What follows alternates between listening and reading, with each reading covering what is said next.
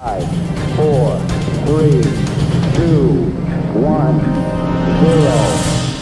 One of the central teachings of our Catholic faith, one of the greatest gifts of our Catholic faith, is the Holy Eucharist. The teaching that in the Eucharist, Jesus Christ is truly present, body, blood, soul, and divinity, and the reality that in the Eucharist, and in Holy Communion, we receive Him, body, blood, soul, and divinity. But how do we know that that's true? How do we know that that's real? How do we know that when we receive Holy Communion at the Mass, that we're receiving the living God, Jesus Christ Himself, present to us? We can study Scripture, we can study history, but we can also study the dozen, dozen, dozens and dozens of Eucharistic miracles that have happened to verify and validate this truth that we believe and that we embrace as Catholics. And that's what we're going to be talking about today on Ignition. Welcome to the show. I'm your host, Dr. Chris Burgwald, and we want to set your faith ablaze so that you might live the adventure that comes from a relationship with Jesus Christ. Before we get into today's topic, we want you to know that we love listener feedback.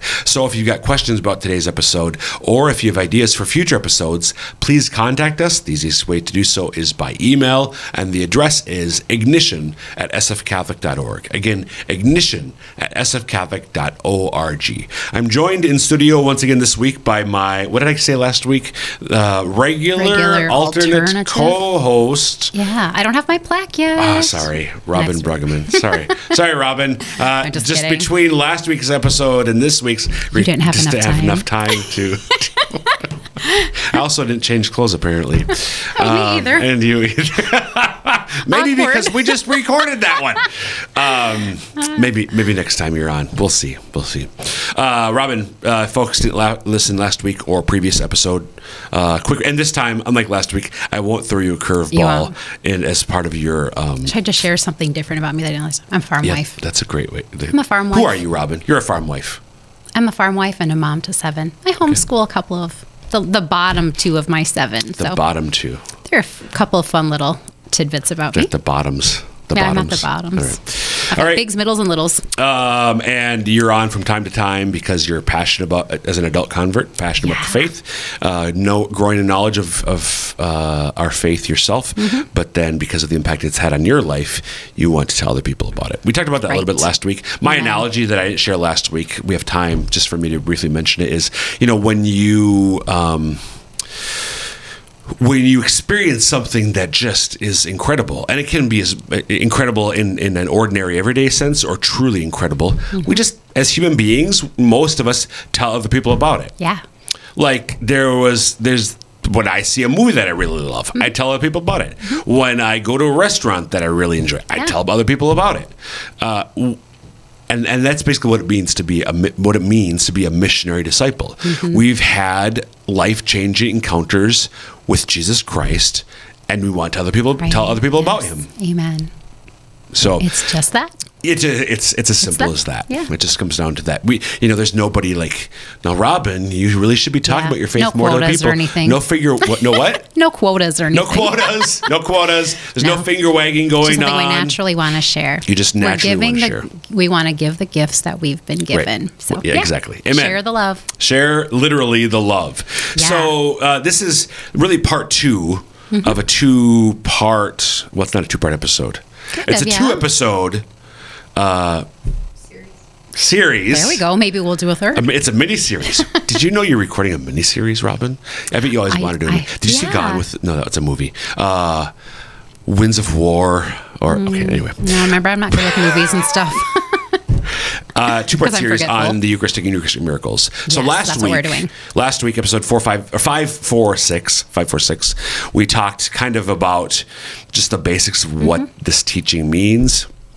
We talked about, uh, uh, we unpacked a little bit the technical term transubstantiation, which the church uses to explain a little bit more about this this beautiful doctrine and gift. And then we sort of just briefly introduced the reality of Eucharistic miracles, and that's what we're going to focus on in this episode. yes, this is good stuff. Yep. It's So- exciting. Stuff so- we can't not share. Right, exactly. so we can't not share share. Exactly. so to sort of just like pick up where we left off last time, um, throughout history, over the course of well, centuries ago, we know uh, the first Mm-hmm. millennium was the first documented Eucharistic miracle, but there have been dozens of them from then up to our own time. Mm-hmm. So there have been over the course o- over a thousand years times when God has intervened, if you will, mm-hmm. to make not just the the essence or the substance of the Eucharistic bread and wine into Jesus Christ. That's what normally at the Mass, uh, the characteristics of the bread and wine remain the same, mm-hmm. but their essence, their substance, what's quote unquote hidden, what mm-hmm. makes the bread bread and makes the wine wine, is chained into Jesus Christ. But the characteristics of bread and wine, that's why when we look at it, if we were to if we were to do a scientific chemical analysis, it looked the same. Yep, the but same. sometimes to usually bolster the faith of somebody who's starting to question or doubt Mm-hmm. uh, the Eucharistic, the, the real presence of the Eucharist, God will uh, perform a miracle where the appearance, the characteristics, I should say the accidents, to use the technical term, of the bread and wine also change Mm-hmm. into the body and blood of Jesus Christ, who is For alive and truly present. For real. Like Yeah. literally, the characteristics of the bread and wine change Yeah. to flesh, human flesh, human tissue, This and human blood. Incredible. Yeah, it is Real stuff. It is Like, re- real oh, stuff. And I mentioned so a good. website last week, um, therealpresence.org. Uh, you could just do an internet search for that at your favorite search engine, um, therealpresence.org. And there's all sorts of things on this website, but one of the big things uh, is the section on miracles. So there's a bunch of tabs at the top. If you click on miracles, you'll be taken to a page, sort of the homepage for a Vatican International exhibition uh, of, of they're, they're incredible. Um, well, posters, if you will, but they can be blown up into like really large uh, displays of dozens of Eucharistic miracles that have been scientifically, medically confirmed, verified, and validated over the course of the church's history. Because a lot of them Yeah. have happened more recently, Yeah. and a lot of them ha- not just happened, but th- they they the the tissue remains and can still be, can be scientifically tested Yeah. and experimented upon to validate, to verify uh, what seems to be the case. That is, that the bread and wine have become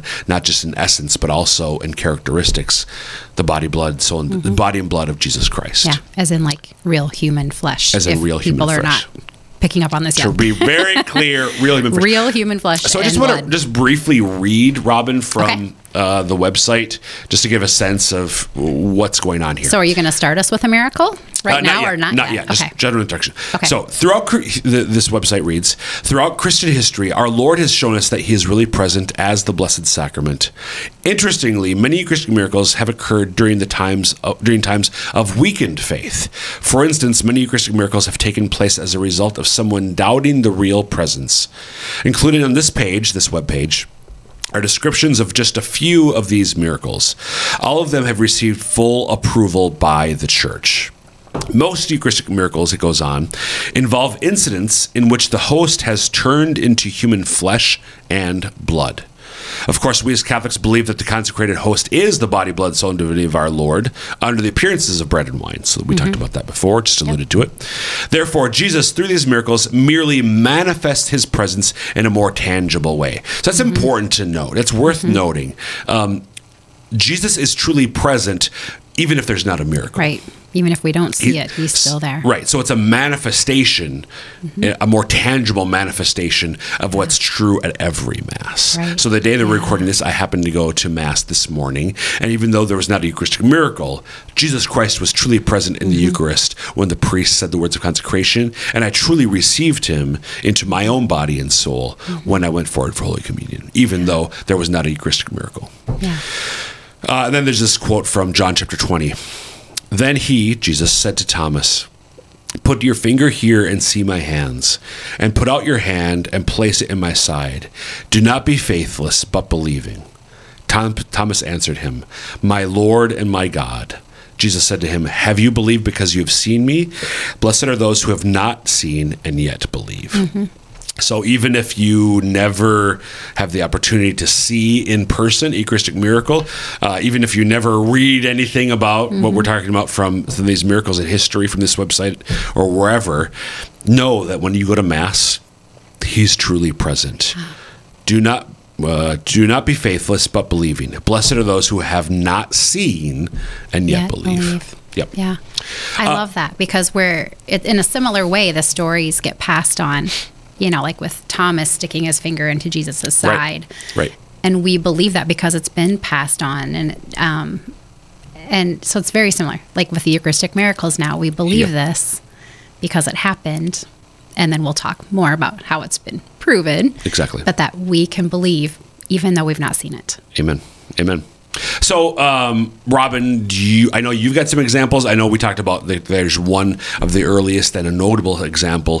Which do you want to go with? Mm-hmm. Why don't you go into the, the Luciano one? Luciano, okay. Yeah, let's do that. So- it's a fairly common one, and then people can also reference that Yep. pretty easily. Yep. So again, at the website that I mentioned, therealpresence.org, uh, there's they've got a whole list of uh, uh, dozens of Eucharistic miracles that have happened. But one of the most well-known ones, uh, which they have um, two pages on. By the way, I should mention um, here in our diocese in Sioux Falls, I know other places as well. There is a traveling exhibit a Eucharistic miracles exhibit where just in our in our diocese, there's been some laymen who a dozen years ago, maybe more at this point, um, basically decided to take what's available online the, these these pages which are beautifully done. They're in color and photographs and so on.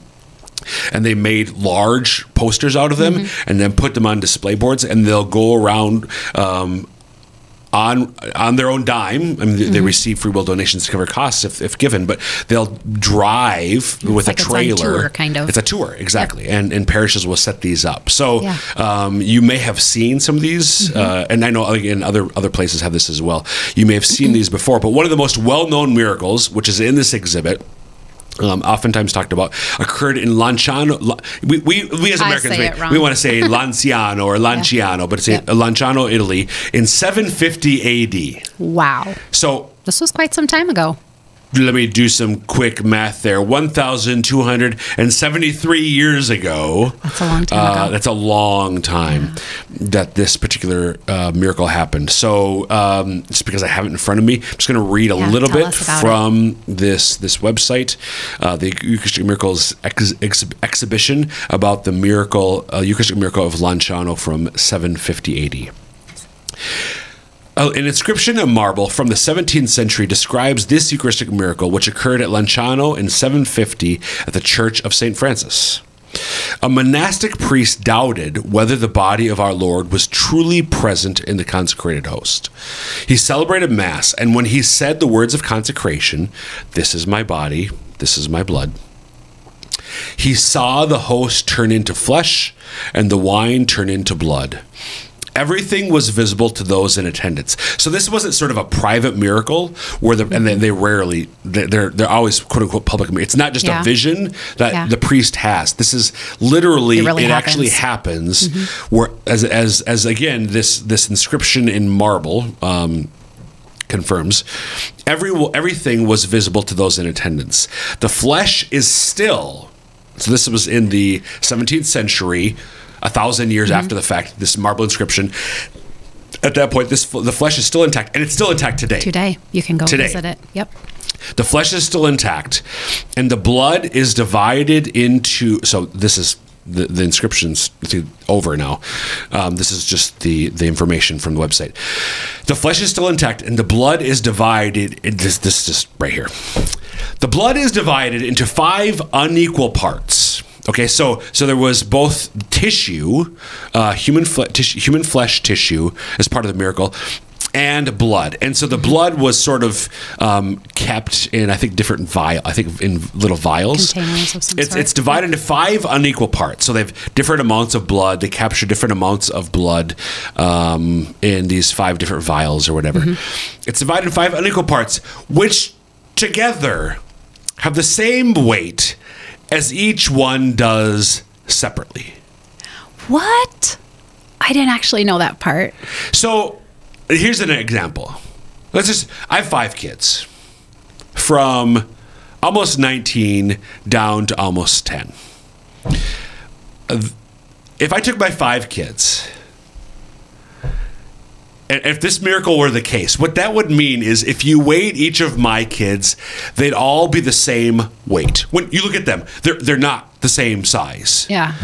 But if you if you weigh them the same way, and then if you put them all on the same scale, it'd It be the the same, same weight. again. So let's just say the number's uh, 100 pounds. If you put Mercy, the 10 year old, or Elena, the the almost 19 year old, anybody in between.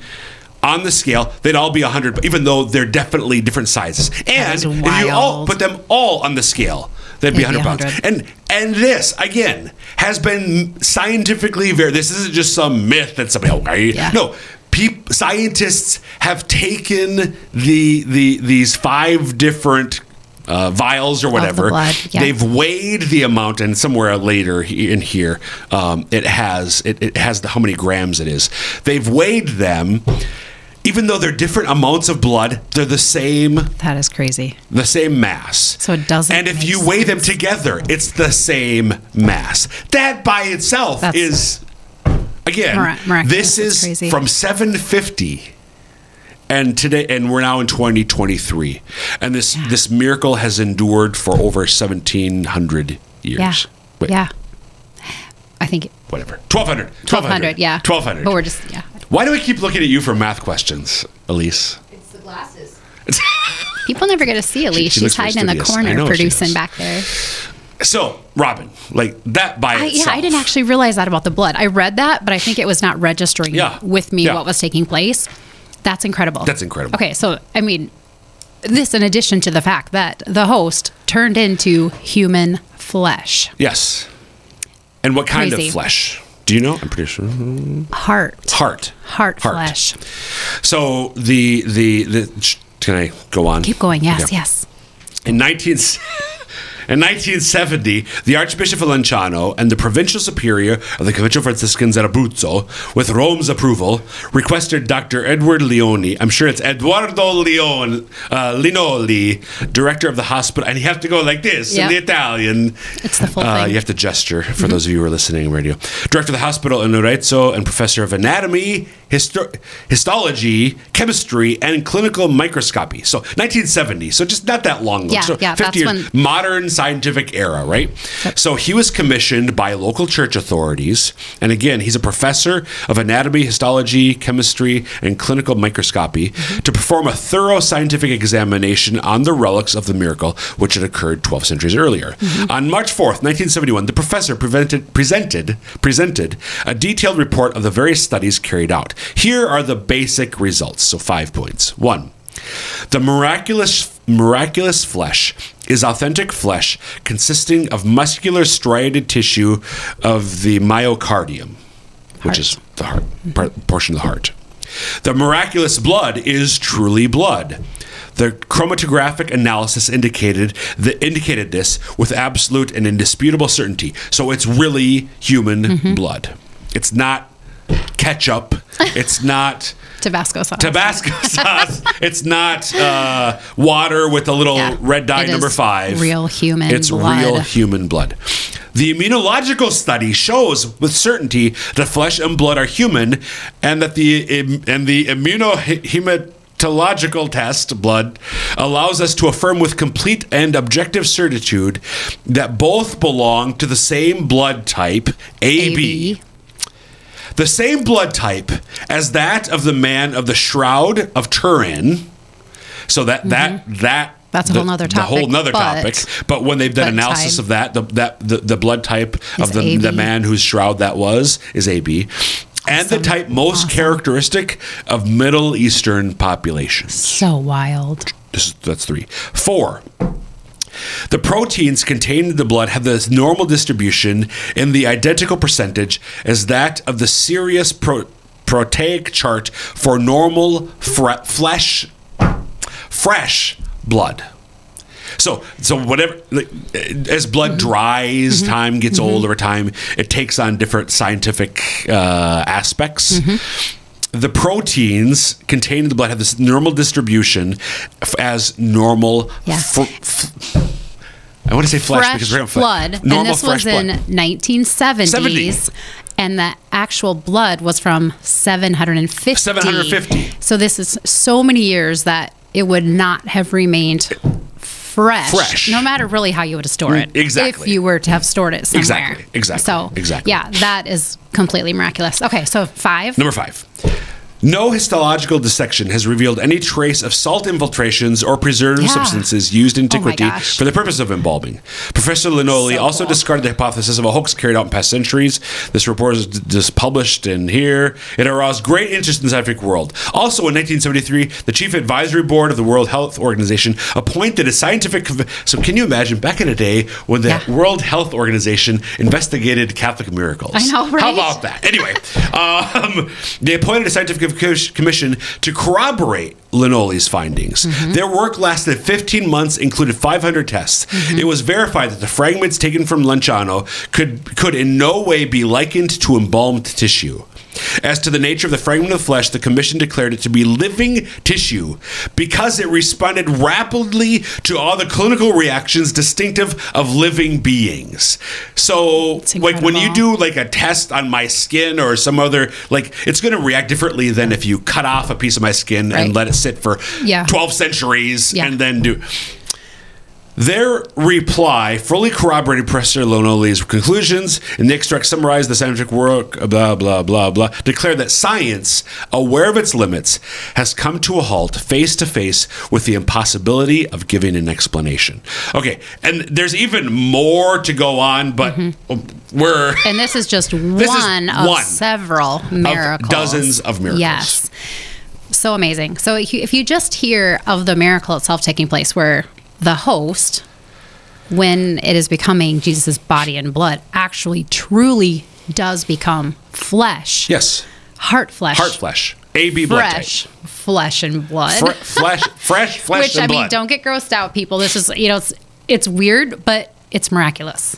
Right. It is miraculous that, and for God to want to show us and make that connection of what we believe is taking place, um, you know, during um, the transubstantiation Yep. when, in communion.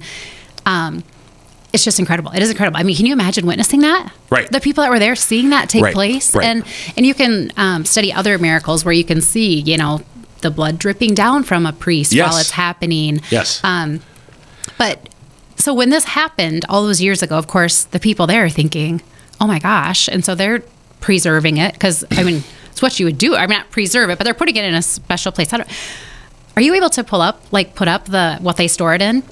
Um, the what would you call it? Like, it's in like a monstrance like sort of thing. monstrance. Yeah. So Um, so maybe we can put that on for if for those of you who are watching on YouTube or um, on Chris's podcast viewing spot. Um, but then what's amazing is so you know we talked about how that was 750, but then in the 70s they decide to you know Right. because- 1970s. and the reason is because if you're listening, anybody's thinking, no, really? Like, because it's just so, it's so hard to believe and wrap your head around. Right. But so what the church does to be sure that, you know, we can believe and not just have like this story that is passed down, they put the effort into scientifically um, studying it, investigating it. And I love that the church does that so we can be sure that it is what it is. Yep. Yep. And this is still on display today. Today in Lanciano, And there's just It's no explanation Yep. Of it. And so Elise has pulled up some, um, she's pulling up some different images of Eucharistic miracles. So, like, I don't think this is the one. They're not right? all Lanciano, though, are they? Right? Yeah, These this one's a different one. images. Yeah, so Yep, if you can yep. pull up the Lanciano one, it shows it's like in a monstrance. Like I'm also when I see the pictures of it, I think, can you imagine going to adoration? Oh, right. Right.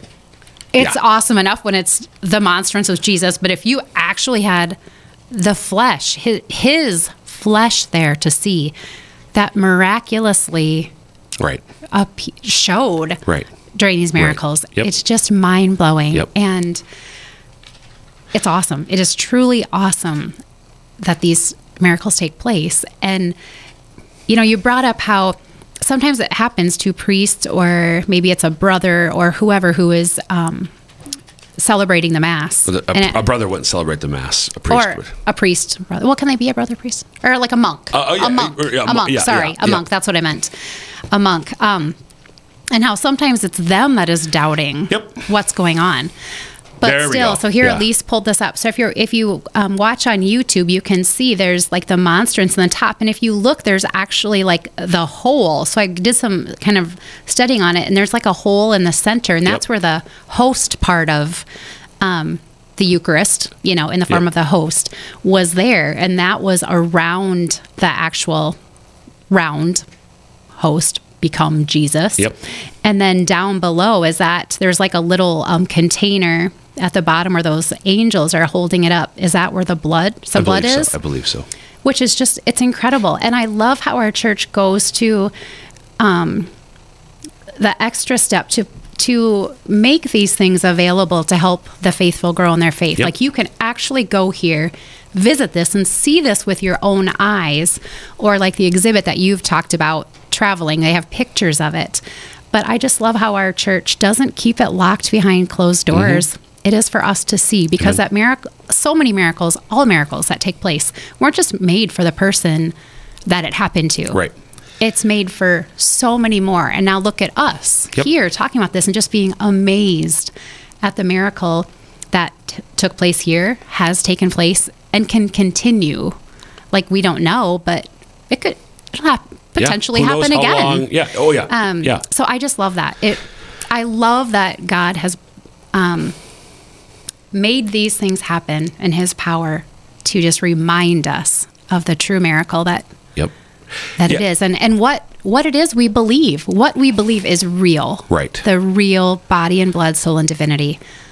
Real true um yeah it's it's amazing Exactly. Yeah. The words can't describe The Catholic faith is not just an idea or a theory, it's a description of reality. Mm-hmm. Yeah. So in the Mass, the reality is Jesus Christ becomes present. Mm-hmm. So these miracles are there to confirm the reality that we believe in. So just real quick, Yeah. Robyn, before I give you any last thoughts. So the, the Eucharistic. Uh, Miracles exhibition has three miracles from the 2000s. They're not again; they're from throughout the centuries. Mm-hmm. Yep. From one from India in 2001, one from Mexico in 2006, and one from Poland in 2008.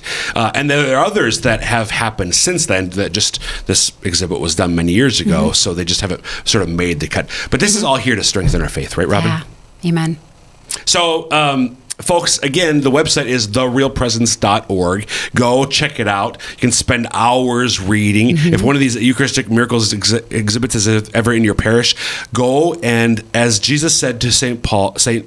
Thomas, do not be unbelieving, but believe. Amen. amen Amen. And folks, that will wrap up this episode of Ignition. Again, you can email us, ignition at sfcatholic.org, with any questions about today's episode or ideas for future ones. Until next time, may God bless you.